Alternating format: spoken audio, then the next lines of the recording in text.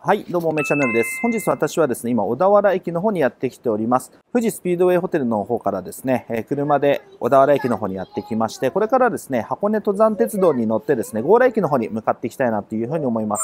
まあ、今ね、電車待ちという状況です。じゃあね、これからハイアットリージェンシー箱根さんの方に向かっていきます。あ、ここの線路のあっちじゃない？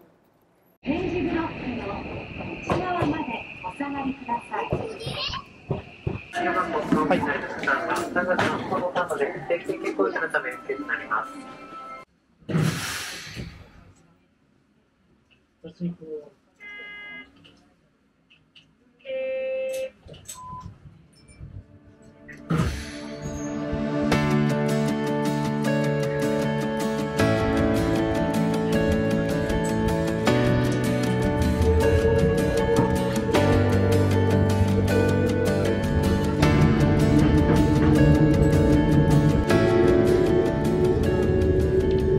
はい、駅のですね、こちらのね、地下の階段を抜けると、まあ、こんな感じでね、シャトルバスステーションがありますので、こちらからですね、はい、ハイアットリージェンシー、箱根さんのね、バス乗っていきたいと思います。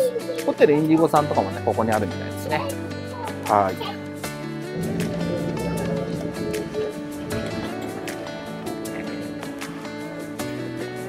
あ、島田です。はい。じゃあ乗っていきたいと思います。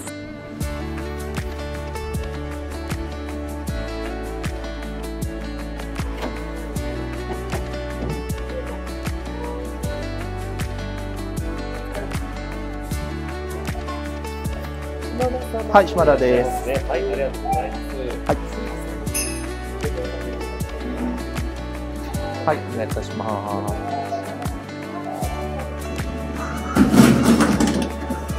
りおつなぎます。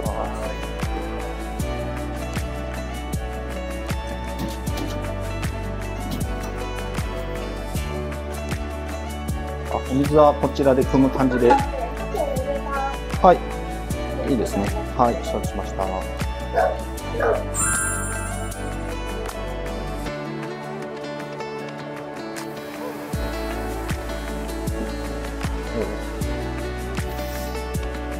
くどっかわかるお部屋435だって。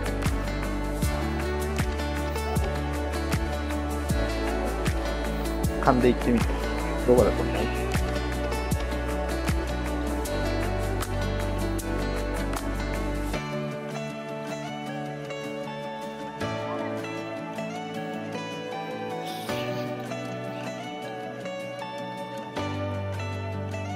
はい、本日はこちらのね、435号室となります。靴をね、え脱いで入っていく感じでございます。おお、広い。めちゃめちゃ広いですね。こんな感じのね、えー、お部屋となっております。じゃあね、ちょっと今説明を受けますんで、それからね、ちょっとルームツアーやってみたいと思います。はい。それではね、玄関の方に戻って、はい。ちょっとね、見ていきたいなと思います。玄関は人感センサーなのかな？消えちゃう。はい。ちょっと消えましたね。はい。人感センサーでしたね。はい。本日はエレベーターホール出てですね、右手のこちらの435のデラックスルームにね、アサインいただきました。はい。まず入っていただいて、えー、玄関がめちゃめちゃ広いですね。こんな感じ。靴をね、もう脱いでいただく感じとなります。ここら辺にはい。シュークロスがあったりとか、まあ基本的には空なのかな。はい、こんな感じで。あと、靴べらがね、ございます。はい。で、入っていただいて、正面ね、こんな感じで絵があって、廊下がちょっとあってね。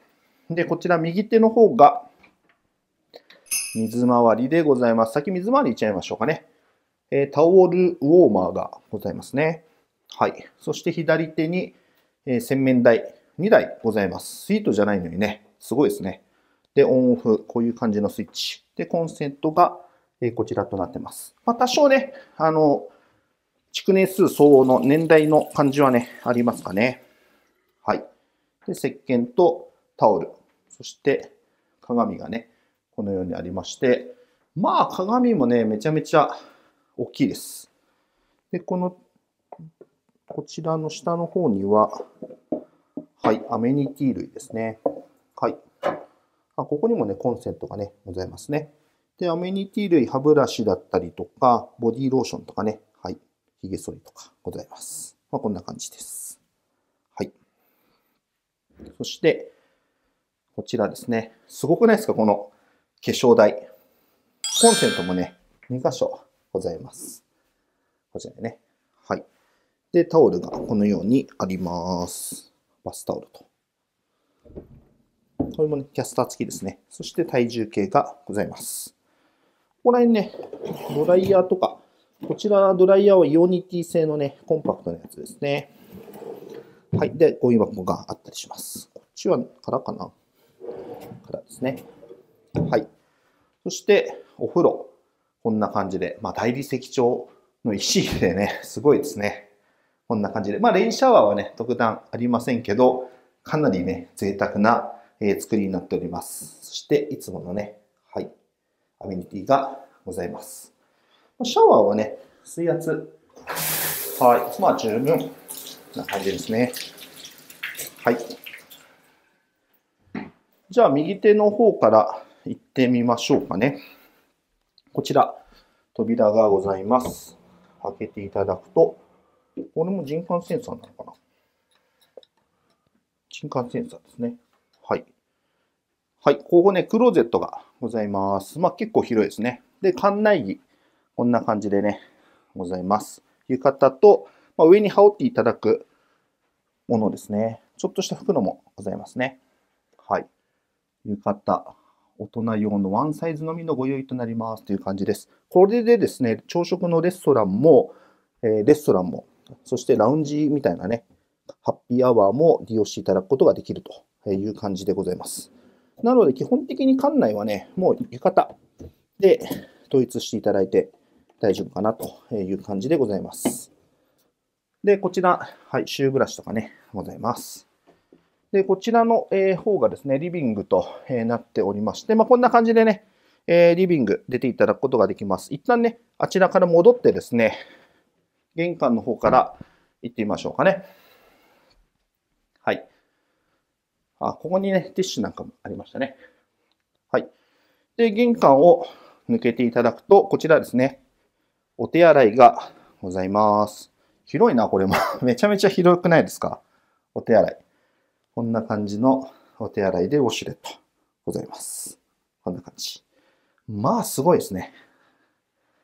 なんかね、バ バブリーな感じのね、作りっていう感じが妥当ですか？はい。そしてね、お部屋、ドーンと、もうね、無駄なものがない感じで、ただ広い。すごくないですか？まあ、今回ツインなので、まあ、こんな感じのね、作りとなってます。ベッドパネルとかね、ウォールがございます。ウォールナットでね、あの高級感があるキーが使われてますかね。はい。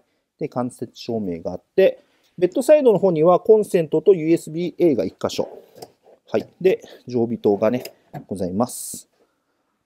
はい。まあ普通のベッドはね、シングルベッドが2つっていう感じですかね。まあくっついてるんで、キングベッドみたいな感じにはなるんでしょうかね。はい。もうレイ君もだいぶしてます。高さ的にはね、レイ君もちょうどいいですね。で、こちらにもコンセントと USB-A があって、ティッシュ。そしてこちらに、なんだろう、これスパのね、えーメニューでございます。温泉のね、メニューなどがございます。メニューなのかな？なんかご案内？ね、こんな感じでございます。セラピーとか、はい、トリートメント、メニューでございます。はい。そして、ここら辺は、まあ、荷物置いたりとかできるんでしょうけど、基本的には空なんでしょうね。空ですよね。空。こっちも空。はい。もうレイ君はテレビの下ね、開けちゃってますけど。まあ、で、こんな感じでソファーがあって、えーこういったデスクがございます。デスクの方には電話機と外国の方もね、大丈夫なコンセント、USB-A とコンセント。はい、ございます。で、ここら辺、はい、ちょっと待ってね。で、こちらの方にランドリーのバッグとか、ルームサービスのメニューとかね、ご案内が、冊子がございます。こんな感じですね。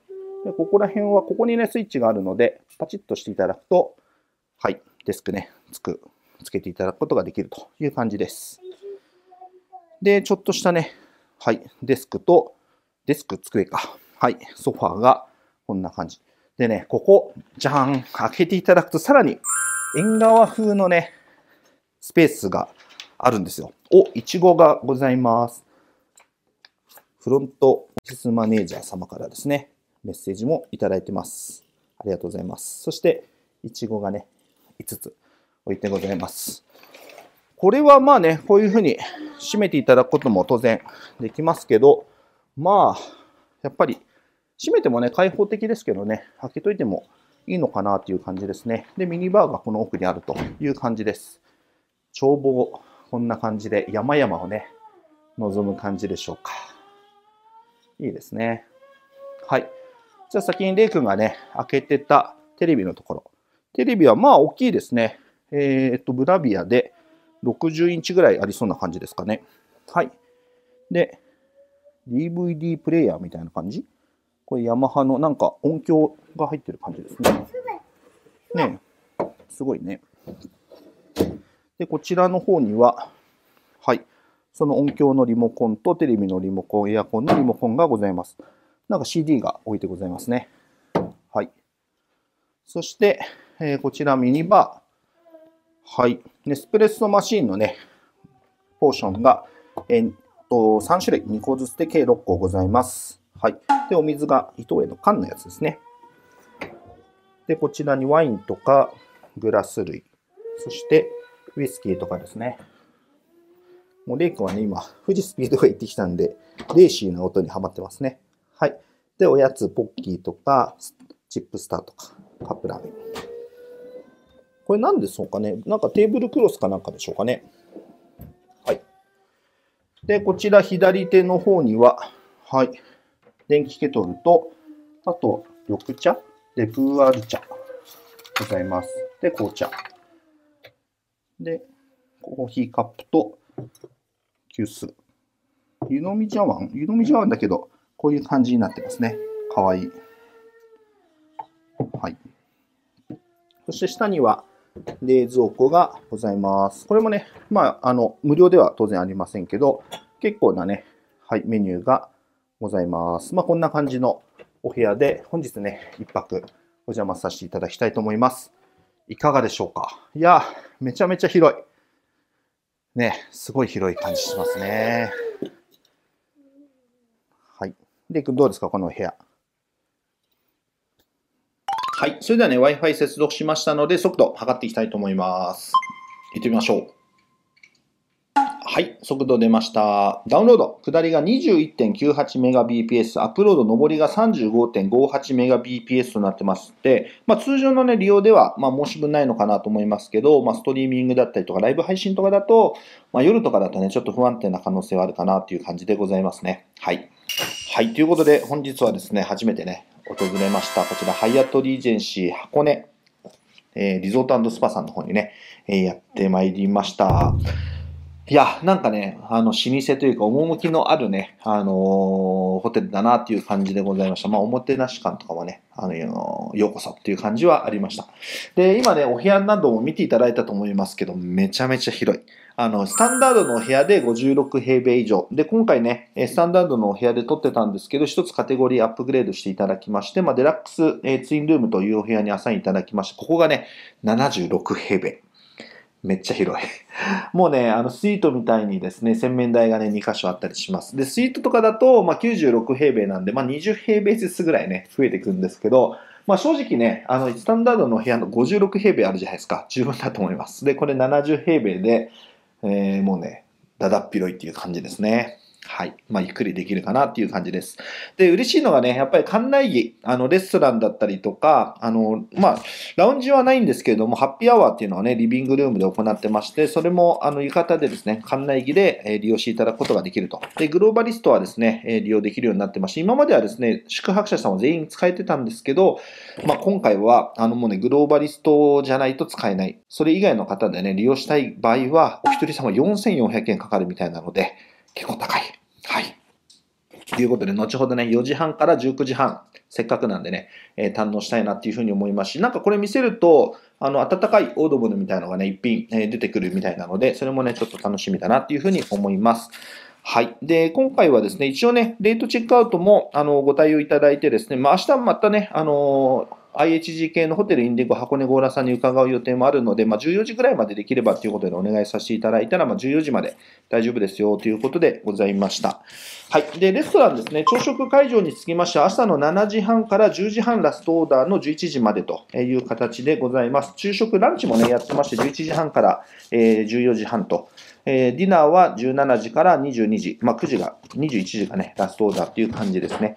で、ダイビング、ダイニングルーム寿司っていうところもね、えー17時から22時という形で、リビングルームにつきましては、11時半から、えー21時半までね、あの、飲み物、お食事とかね、えーできるという感じです。飲み物は、えー11時から、えー22時半までという感じですかね。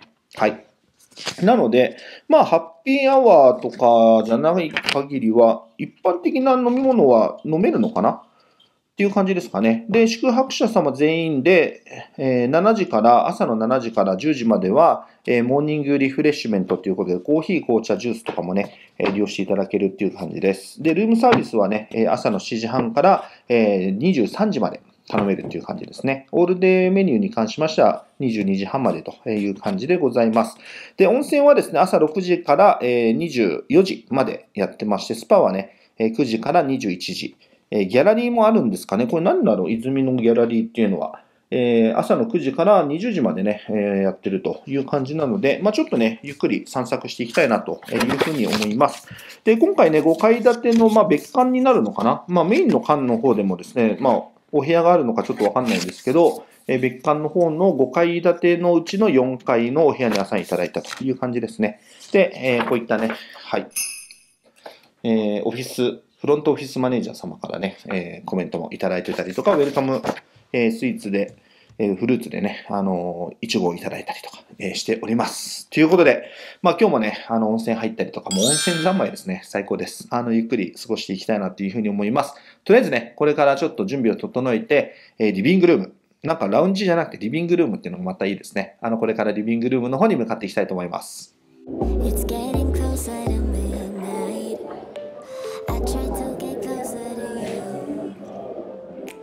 はい、えーこちらのですね、リビングルームの方にね、やってまいりました。こちらですね、ハイアットグローバリストドリンクメニューということでね、こんな感じでですね、ノンアルコールビールとかギネス、恵比寿とかがございます。とりあえずシャンパンいただきました。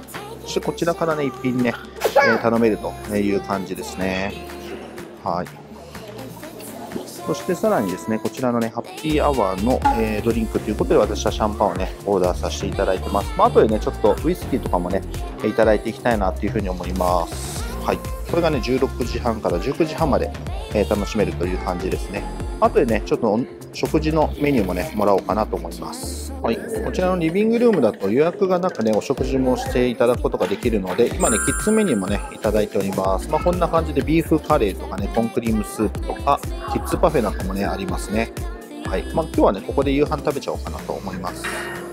はい、そしてね、大人メニューとしましては、まあ、オニオンリングだったりとか、季節のスープとかね、はい、スパゲッティのボロネーズとか、ビーフカレーとかございます。どんなのが美味しいですかね、おまかせ三種盛りとか、和牛ステーキ丼なんかもね、あるんですね。はい、面白い。はい、とりあえずね、シャンパンいただきましたので、いただいていきたいと思います。あ、美味しい。ネックはリンゴジュース、妻はね、クランベリージュース頼んでもおります。別にですね、もう夕飯でね、レイ君には鶏の唐揚げと、あとスパゲッティのボロネーズ、あとね、クラブサンドイッチをまあオーダーさせていただきましたんで、まあ、ここでね、えー食べてお部屋の方に戻って温泉の方にね、向かっていきたいなと思います。温泉ってどこ？大きいお風呂。はい、今ですね、グローバリストで注文できるね、えーホットメニューということで、まあ、今回ね、ポテトオーダーさせていただきました。ポテトがね、一本一本めっちゃでか。指ぐらいあります。はい。ということで、まだね、熱々なんでレイ君食べれないんですけど、冷めてね、食べていこうと思います。はい。じゃあね、ポテトいただきます。うん。うんめっちゃ熱い。揚げたて。ははい、そしてね、キッズ唐揚げが来ました。これ、レイ君がね、食べてくれると思います。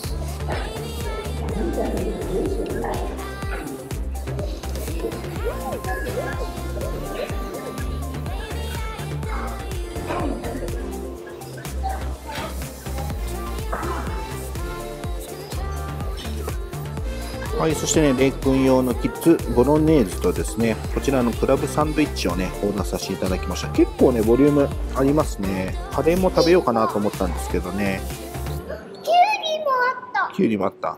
レイ君キュウリ大嫌いキュウリどこにあるの？あそこそれピクルスだよ。はい、それじゃあね、クラブサンドイッチいただいていきたいと思います。うん。パンめっちゃサクサクでうまい。うん。これ食べやすい。めっちゃうまい。最高。痛い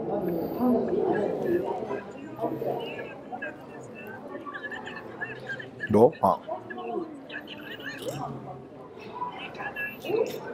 はい、そしてね、シャンパンを2杯いただいた後はシーバスリーガルのソーダ割りいただいていきたいと思います。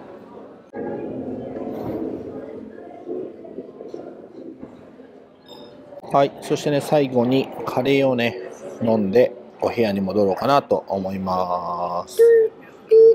じゃあね、かけていきましょう。この器ね、結構熱いので、やけどしないようにしてくださいね。はい、ということでいただいていきたいと思います。はい、ではね、いただいていきたいと思います。ビーフゴロゴロのビーフカレーですね、美味しそう。はい、ということでいただいていきたいと思います。いやー、お肉がね、めっちゃ大きい。そして、スプーンもなぜかめっちゃ大きい。こんな感じ。はい、いただいていきましょう。うん。うまっ。うまっ。カレー美味しい。リークもちょっとカレー食べる？いやー、めっちゃうまい。うん。カレーがめっちゃうまい。こちらでよろしいですか、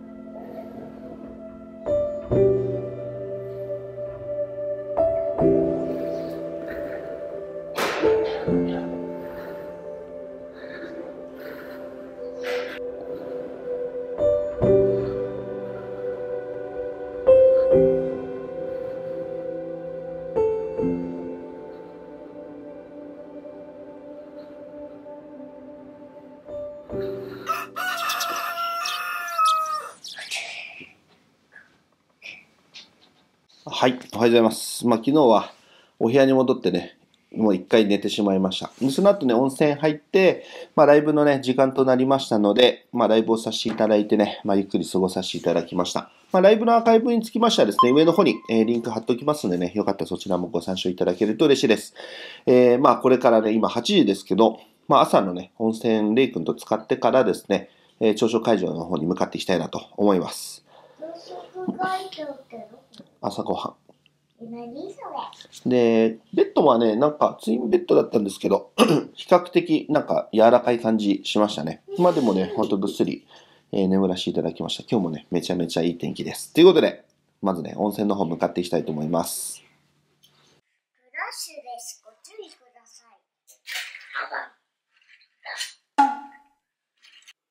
いで、それやらない。塗りたいだけだよはい。ではね、朝食を食べに行きたいと思います。レンガ調でいい感じですね。はい、ありがとうございます。ワインとかもね、めっちゃいっぱいです。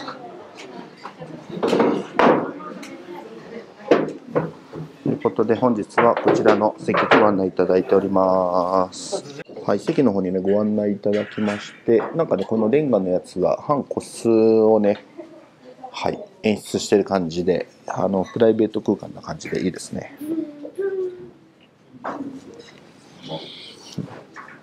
はい、ということでですね、まあ、これからあの朝食取りにね、向かっていきたいと思います。パパ何もパパの言うこと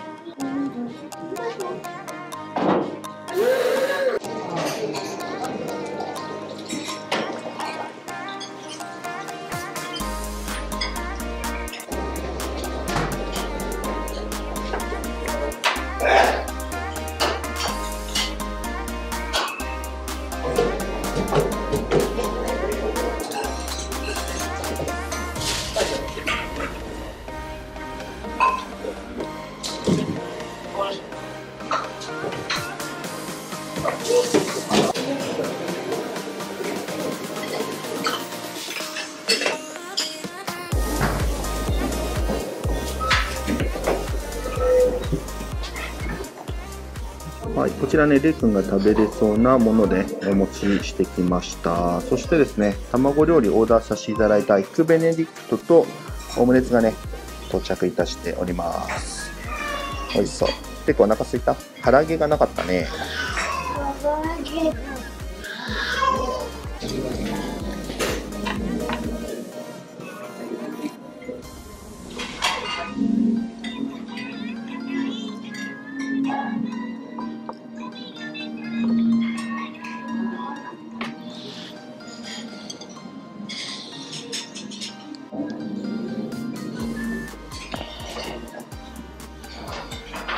い、ということですね、こういう感じで持ってまいりました。もうフルコースって言っていいでしょうね。温泉卵もね、ありました。そしてとろろ、角煮とかもね、ありましたね。カヌレもね、あって美味しそう。で、卵料理はエッグベネディクトとオムレツをね、オーダーさせていただいております。いやー、めちゃめちゃ食べれるかな。頑張ります。はい、ということでね、いただいていきたいと思います。いやー、めちゃめちゃね、種類豊富で、とろろもあるし、温泉卵もあるし、コーンスープは量がね、非常にバランスいいですね。はい。なので、和食だとですね、こういったね、角煮もあるんですよ。最高とろっとろ。いただきます。うん。うん。いい甘み。美味しい。まっ。そしてね、たけのこだったりとかね。うん。焼き魚も鮭とね、サバがありますね。うん、美味しい。そしてね、洋食につきましては、この、なんていうんですか、カプリチョーザみたいな、ナッツの、カプレーゼですね。カプリチョーザですね。お店の名前ですよね。カプレーゼ。トマトとね、あのチーズのやつ。うん。まっ。そしてね、こういった、あの、バターチキンカレーみたいなのも、うん、美味しい。あ、このカレーがまためっちゃ美味しい。昨日のね、夜食べたビーフカレーはなかったですけど、カレーはありましたね。うん。そしてレイ君が最近気に入っているカリカリベーコン。うん。カリカリ。こんな感じのね、クラフトジュースなどもございます。うまっ。そうそう。あとは、まだね、ちょっと食べれてないですけど、こういったね、クロワッサンだったりとか、えーカヌレなどもね、あって、非常にいいですね。エッグベネディクトもね、ありますし、もう本当にね、種類が豊富。エッグベネディクトちょっと割って食べてみましょうかね。ザブン。おいい感じですよ。はい、こんな感じ。ねめちゃめちゃ美味しそう。これは何だろうな、パンケーキのパンみたいなね。うん。あ、普通にあれだ。何でしたっけ？マフィンみたいなやつ。うん。うまっ。そしてね、カヌレですね。うん、もちもち。あ、これはね、うまい。うん。紅茶とか最高。じゃあね、食べ進めてお部屋の方に戻っていきたいと思います。ちょっと違う。ブドウジェリー。ヘリコプタ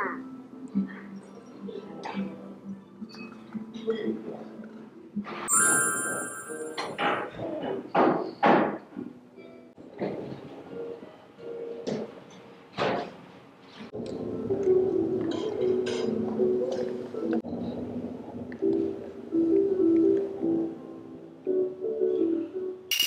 ごちそうさまでした。めちゃめちゃね、ご飯美味しかったです。最後にね、あの、内緒ですけれども、角煮丼作ってですね、そこに温玉をぶっかけていただきました。あれがね、美味しかったですけど、まあ、ちょっと余分でしたね。めちゃめちゃお腹いっぱい。まあ、どれもね、あのメニューも豊富ですし、なんか地元のね、まあ、野菜とか特にやっぱ美味しかったですね。最高でした。はい。で、チェックアウトは今日ね、14時まで、あのゆっくりさせていただくことができるので、まだね、えーでもなんやかんやもう11時かっていう感じですけど、まあ、ちょっと最後まったりね、くつろがせていただいて、えー本日はこれからですね、まあ、強羅駅の方にね、あの送迎で送っていただいて、また強羅駅の方から、えーホテルインディゴ箱根強羅さんの、えー芸者、あの、車迎えに来てもらって、えーホテルインディゴ箱根強羅さんの方に向かっていこうかなというふうに思います。まあ、初めてね、こちらのハイアットリージェンシー箱根リゾートスパさんお邪魔させていただきましたけれども、あの、なんだろうね、やっぱり老舗というかもう本当に落ち着きのあるね、えーホテルですね、まあ、大人のホテルだなっていう感じはしました。まあ、ただ結構ね、お子様連れもいらっしゃってですね、あの、レイ君連れてても、あの、比較的安心にね、え ー宿泊できたなっていうふうに思いますし、まあ、今回たまたまね、あの、多分めっちゃ空いてたんですけど、温泉がほぼね、えー朝入ったのもそうですし、夜入ったのもそうですけど、貸し切り状態で入れたっていうのも非常にね、えーいい思い出になった、あの、要点になったかなというふうに思っております。まあ、混雑しててもね、結構、あの、温泉のね、湯船自体はめちゃめちゃ広いので、まあ、すごい混んでるとかね、あそんな印象はないんじゃないかなというふうに思いますけど、本当にね、えーゆっくりできました。はい。ということで、またね、えーこちらの箱根周辺の、えーまあ、ホップ旅をね、する際には、まあ一つ、候補のね、一つとさせていただければなというふうに思います。ぜひ皆さんもご検討いただければと思います。ということでね、今回の動画につきましてはこちらで以上とさせていただきたいと思います。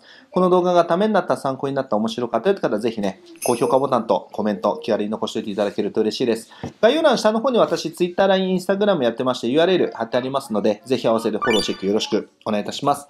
私の動画の方ではこういったホテルのね、宿泊レビューであったりとか、航空機の搭乗レビュー、旅に関する有益な情報等を発信させていただいております。情報のお見逃しがないより、ぜひチャンネル登録とベルマークのね、通知ボタン押していただいて、次回の動画もチェックしていただけると嬉しいです。ということで、また次回次の動画でお会いしましょう。